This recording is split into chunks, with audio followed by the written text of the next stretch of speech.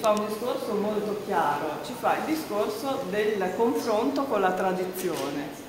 Però questo confronto con la tradizione, ovviamente lui non riproduce gli stili degli altri artisti, dialoga con gli altri artisti in una ricerca che comunque rimane molto personale, perché poi la cifra di De Chirico in ogni caso è eh, inconfondibile. Poi per esempio con questi colori non li avrebbe mai usati, in qualche modo quel cielo rosa e quel mare arancione sono a, a loro modo un tocco metafisico eh, che De Chirico dà, come eh, in tantissimi altri tanti lavori, per esempio nei quadri c'è tutta questa una serie tipica dei cavalli in riva al mare e questa per esempio è una sua firma.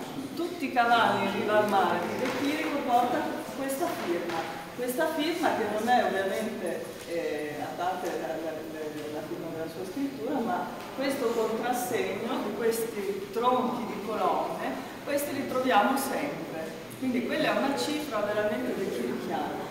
In più, se notate, c'è una cosa molto particolare. Questi cavalli, le dimensioni dei cavalli sono assolutamente incongruenti, non rispettano le dimensioni prospettiche tradizionali, sono quasi eh, come se fossimo tornati alla pittura medievale in cui eh, non era la distanza prospettica, la vicinanza o la lontananza degli oggetti a misurarne, a definirne le dimensioni, ma l'importanza in senso concettuale, per cui il pittore medievale rappresentava ovviamente più grande l'oggetto in qualche modo più importante quello a cui voleva dare un risalto.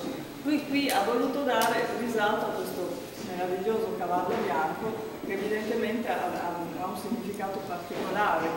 Il cavallo, l'altro cavallo scuro, eh, non, è, non sono, cioè, chiaramente non sono commensurabili in un discorso prospettico corretto.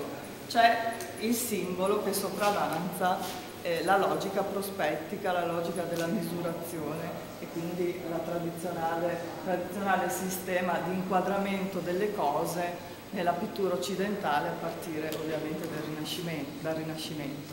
Ecco, comunque il discorso era un po' questo per farvi capire come questa sala ecco, abbia un po' il, il compito di eh, sintetizzare un po' tutto il De Chirico migliore ma anche il De Chirico multiforme, sia per la qualità delle opere sia ovviamente per eh, gli sviluppi tematici all'interno del suo lavoro.